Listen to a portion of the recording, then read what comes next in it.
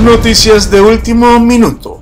Tarek El Aizami confesaría la participación de Diosdado Cabello en el caso de corrupción de PDVSA. Primero, tenemos que decir que el Aizami siempre ha sido una ficha muy valiosa, hasta ahora, pero ahora también ha sido una ficha muy valiosa para Irán, porque facilitó durante muchos años las operaciones de Irán en América Latina.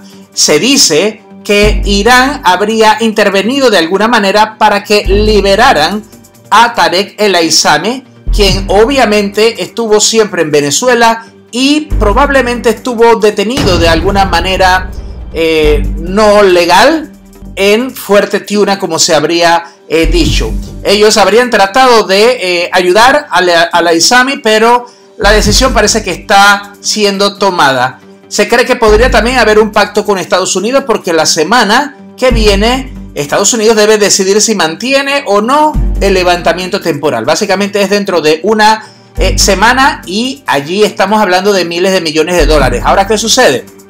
Ahora mismo están eh, aprovechando pues esta situación eh, para salir de una serie de personas eh, de actores chavistas que ya no caben ahora mismo en el, régimen porque eh, se va quedando, es como un pozo que se va quedando sin agua, así mismo se van quedando sin dinero. Cada vez había más demandas y más reclamaciones sobre el dinero y Nicolás Maduro tenía una forma de pagarles que cada quien hiciera alguna de estas eh, travesuras económicas y robaran de alguna manera al Estado, pero esto ya parece que ha llegado a su punto de ebullición en donde no se puede más de esto. Ahora mismo algunos están pronosticando eh, que el régimen no va a dejar que Tarek El Aizami dé más testimonios, sino solamente del que le han dicho que debe dar. Ya saben cómo eh, se maneja este régimen. Algunos se atreven a pronosticar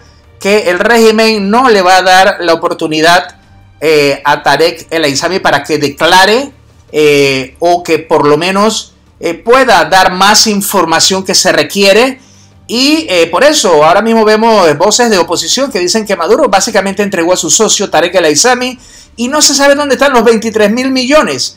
Esto, por supuesto, que deja en evidencia que el problema del régimen de Venezuela es el saqueo y no las sanciones. Así que imagínense, la desesperación que hay para que tengan que eh, haber eh, detenido y usar de pagote a Tarek El Aizami.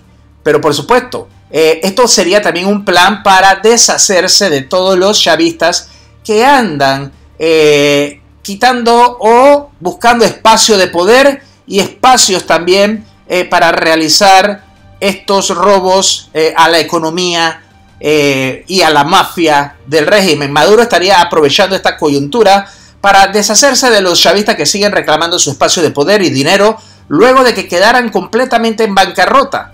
Cada vez hay más quejas sobre la falta de dinero, de pagos y todos los compromisos y también de la repartición eh, de los dineros eh, mal habidos o de las riquezas que tiene todavía Venezuela, por ejemplo, los ingresos por lo de PDVSA, que ahora en una semana parece que eso ya no se va a estar dando más porque vienen las sanciones eh, de parte de los Estados Unidos.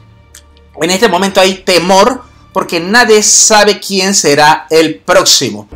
Compañero y como líder, salgo en defensa de mi ministro, mi compañero y mi amigo Tarek El Aizami. Cada persona que incluso ya los han enviado a su casa, eh, como casa por cárcel, simplemente por estar eh, acusando a Tarek El Aizami y se podría entonces ahora señalar a un Diosdado Cabello e incluso a un Padrino López. Por eso vemos que la FAM ha dado eh, una serie de, de mensajes que no debería ni siquiera dar, pero son mensajes de Padrino López para tratar de eh, enviar un puente para que no vayan en contra de él.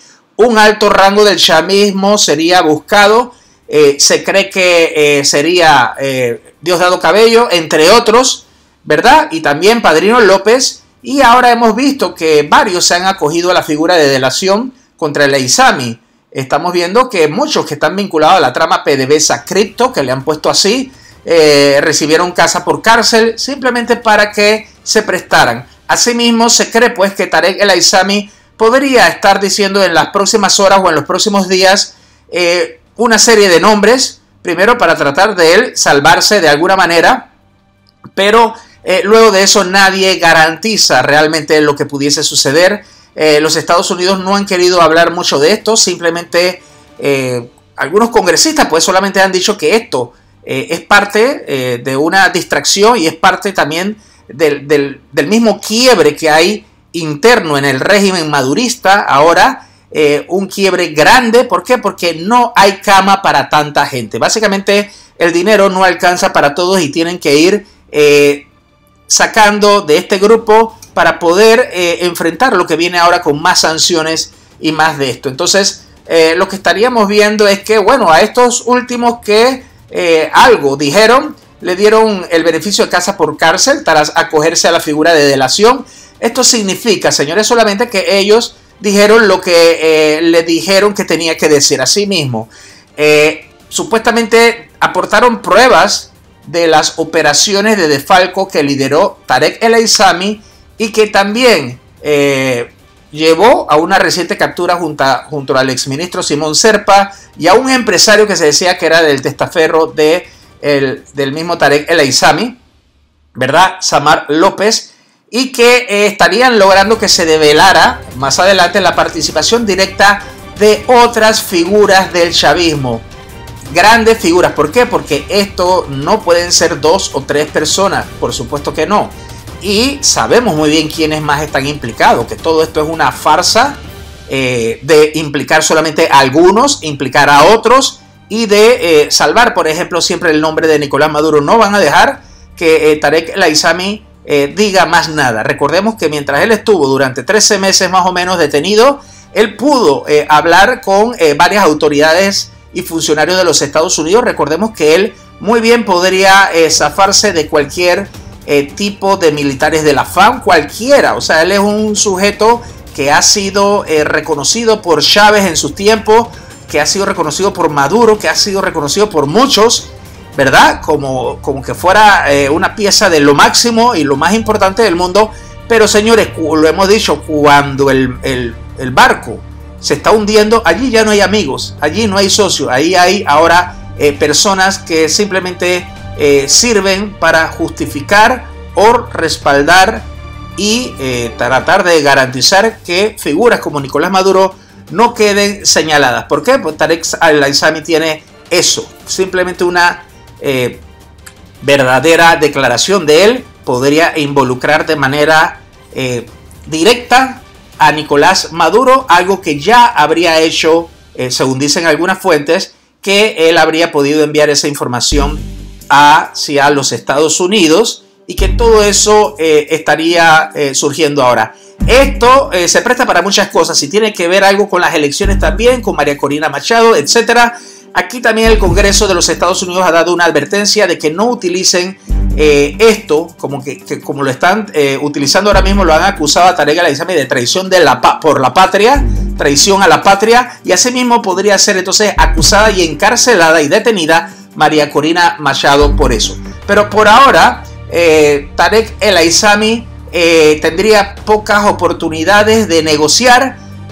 ¿Por qué? Porque parece que su silencio eh, sería eh, más factible para el régimen de Nicolás Maduro, pero antes de eso quieren que él eh, pueda realizar lo que sería una depuración de muchos chavistas que le han estado quitando mucho espacio y poder al régimen de Nicolás Maduro. Y aquí es donde vemos que hay gente como Delcy Rodríguez, Jorge Rodríguez, que estarían detrás de todo esto. ¿Para qué? Para sacar a todas estas personas que sobrarían ¿Por qué? Porque hay cada vez menos recursos para repartir y entonces esto se expande a una de las personas eh, más peligrosas que hay ahora mismo para el régimen de Nicolás Maduro por ser un chavista eh, de pura cepa, sería Diosdado Cabello. Eh, Padrino López, quien ya ha traicionado en el pasado a Nicolás Maduro, estarían viendo cómo hacen para ver si él va a dar lo que él mismo dice siempre eh, lealtad y traidores nunca, ¿verdad? Entonces, eso es lo que está tratando de vender eh, Padrino López, que no está de acuerdo con lo que ha sucedido. Eh, se cree que viene una baja también eh, en cuestiones legales, pues, a varios militares muy cercanos de la cadena de mando de Padrino López, que son muy cercanos y que Padrino López no va a poder defenderlos. Pero también se trata de que puede ser él o si no, la cadena de mando. Y esto, por supuesto, que eh, inicia a hacer lo que es una especie de recabramiento, eh, como si fuese un golpe interno. O sea, eh, el madurismo y el chavismo están golpeados, peleados en este momento.